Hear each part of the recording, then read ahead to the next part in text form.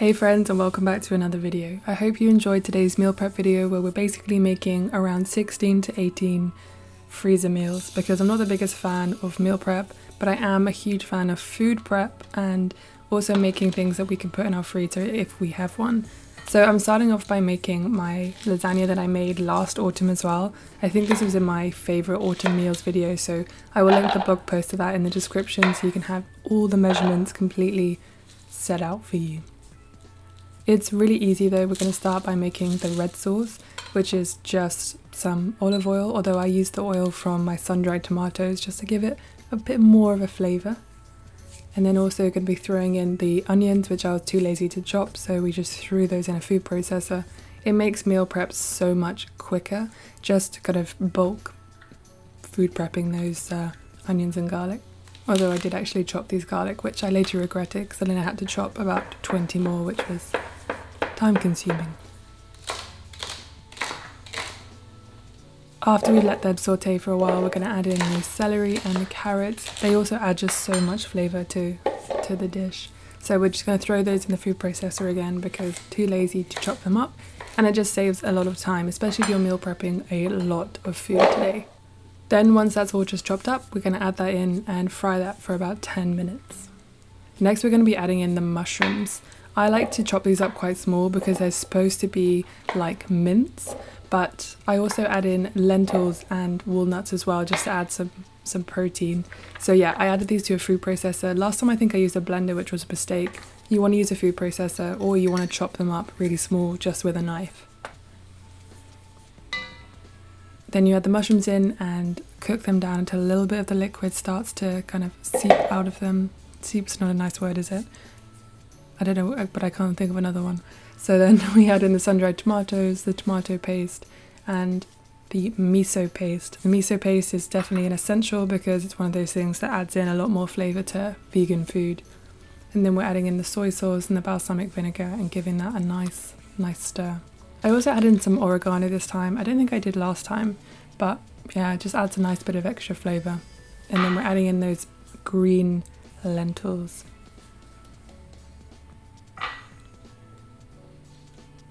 And the tomatoes, obviously.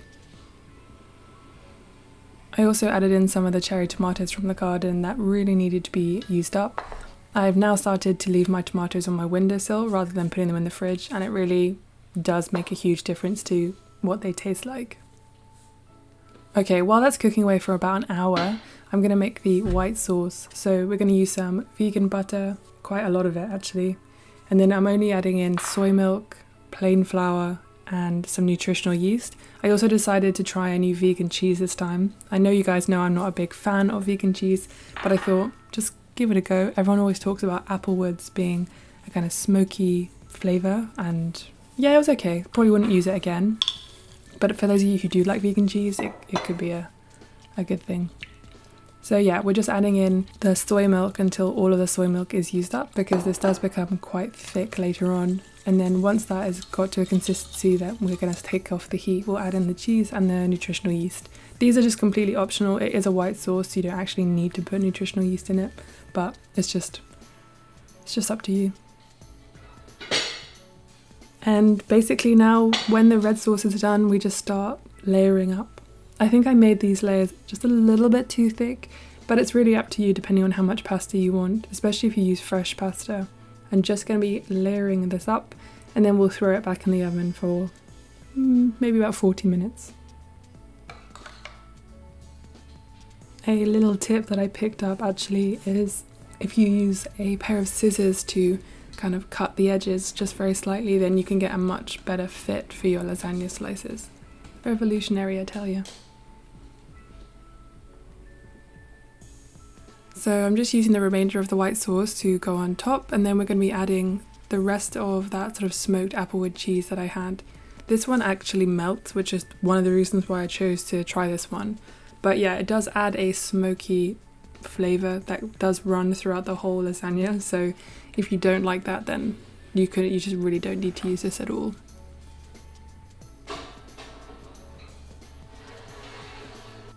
So when I came to deciding how many slices to do for this, I decided to sort of put it into a few different portion sizes. And also, when I took it out of the oven, I left it for a while just so it would cool down properly and set. So it was much easier to actually take out of the dish and put into their separate meal prep dishes. So I think we ended up having maybe about six full portions, like quite big portions, and then two smaller portions for if I wasn't very hungry that day or if I just wanted to have, let's be honest, a lasagna snack and there was nothing else around. Once these are cooled down properly, I just put the lids on. You can see next to it one of the other things that we are meal prepping next. And yeah, then I just let these cool down properly until I put them in the freezer. So the next thing we're making is a chestnut and sage soup. We still got lots of variegated sage in the garden, so I wanted to use that up. And I'm coming around to the idea that sage is not synonymous with eating lamb, because to me sage would just taste like that, and which was absolutely bizarre. But yeah, so for this recipe, we're going to be adding some onion to quite a bit of olive oil into a pan. This is honestly one of the quickest soups. It's also quite sweet naturally, so yeah, we don't add anything else in. I'm also adding some vegan butter to the olive oil and then we add in the onions and let them sweat for about 10, 10 minutes. And there we go with the garlic again. As I said, if you know what you're going to be making for the whole day, you can prepare these ahead of time. So you can chop up all the onions together and all the garlic together and just portion them out per meal that you're making. It makes things so much quicker. After we add the garlic, we're also adding in the sage leaves. I added in, I think, about 10 to 12, but there will be a blog post in a description below. Then we're just adding in the chestnuts and the vegetable stock. The chestnuts are already peeled and cooked.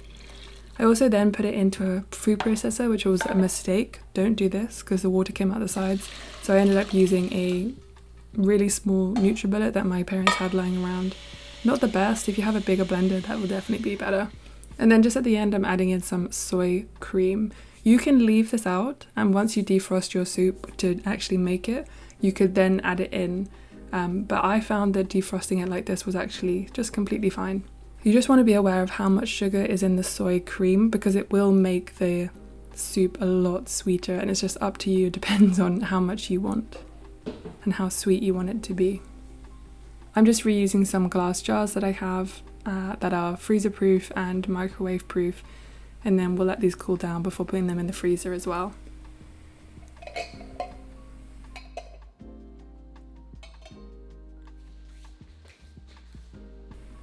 Okay, the last thing is a mushroom soup with dumplings that I have been showing you guys in a few other videos that you are hopefully quite excited about. This is my favourite autumn meal, honestly. I just, I thought it was really hard to make, which is why I haven't tried to make it before.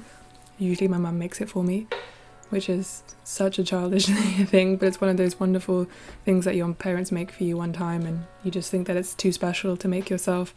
But I got over that, so I put in some olive oil, some vegan butter and the onions and just put them on for about 10 minutes.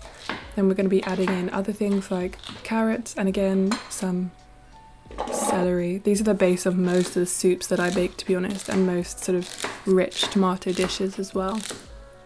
Throw those into a food processor. As I said before, again, you can meal prep these earlier all together if you know you're going to be making multiple batches. Now, because this is a mushroom soup, we really, I'm going really heavy on the mushrooms. So after we put in all of the carrot and the celery just to cook away. We're going to be concentrating on the mushrooms. We've got several different ones. We've got chestnut mushrooms, we've got portobello mushrooms, and we also have some porcini mushrooms. The porcini mushrooms give such a nice depth of flavour to this soup and make it just quite hearty and also not necessarily giving it a meat flavour, but it gives it a deeper flavour than, I don't know, some vegan dishes definitely don't get you there. One thing with porcini mushrooms though is if you do when you do rehydrate them and you use a liquid you need to make sure that you are straining it because it has a lot of grit and other random stuff in there that you just don't want. So make sure you strain it through at least a sieve if not a muslin cloth as well. Okay once those vegetables have done sauteing we're going to add in all of the mushrooms. All of the mushrooms so many mushrooms. You might need a really big pot for this. I also added in quite a lot more mushrooms than perhaps was necessary just because I really. Onto the dumplings. They are so easy. They are literally white flour, vegetable suet, cold water, and herbs. That's literally it. That is literally it. I can't believe how easy these are. I'm adding in parsley and dill, chopping them up really small because I don't want big bits in my dumplings. In the meantime, we are going to be adding in the garlic, the porcini mushrooms, and then the porcini sort of strained hydrated liquid. We are also adding in quite a bit of vegetable stock as well, because after all, this is a soup. Now you don't have to blend any of this, but I did choose to blend about two cups worth just to give it a thicker soup feeling. Back to the dumplings. Once you've mixed in the suet and the plain flour, then you add in your herbs and you mix those in as well. You can also add in a pinch of salt here as well. Then we add in cold water just a few tablespoons at a time, just until the dumplings come together. I use a knife because it's kind of like, it's just easier and less messy because it's quite a wet dough. And then that's literally it, you just work it into a dough, making sure you're adding water when you need it, and then you just pull them out into different sizes that you want. Mine weren't very consistent. I had some quite huge ones, quite medium ones, but that doesn't really matter, they all taste really good. And I was quite surprised at how well they actually froze and held up. With these though, I would definitely take them out the freezer the night before and put it in the fridge to let it thaw properly, or take it out of the freezer and put it on your side table or whatever, your counter in the kitchen, if you're going to have it for dinner. Because if you especially make making dumplings that are quite big, you want to give them time to completely thaw through. I'm adding in some of the extra herbs into the dish once the mushrooms have cooked through, and then I'm just going to add in the dumplings. The dumplings take about 10 to 15 minutes. But again, there will be a blog post linked in the description below that you can check out all of these things. Of course, I had to have some because it is one of my favourite meals, so I'm just portioning out one size for me, but if I didn't, this would have made six portions. I have about two dumplings per portion, which helps me to figure out when I am putting them into their meal prep dishes. And that's it. I also added a little bit of soy cream to this just to see what it would taste like. It was fine, doesn't need it though. And yeah, I hope you really enjoyed this video. I'm just going to portion these things out now and put them in the freezer once they have cooled down. I ended up eating these for some lunches as well as some dinners. It's just so much easier when you're busy and you want to have a home cooked meal. Yeah, honestly, I need to actually do this again. I've already eaten all of these meals. Thank you so much for watching. If you did like this video, please give it a thumbs up and subscribe for more. And if you are interested, we are finally releasing some of the interviews I did with some fellow creators on Patreon, so I will leave those in the description below. That's going to be part of a much bigger video later on this month, but for now we are doing the individual interviews and they've got some really interesting things to say. So I hope you enjoyed it. Let me know if you want to see more meal prep videos and I will see you very soon.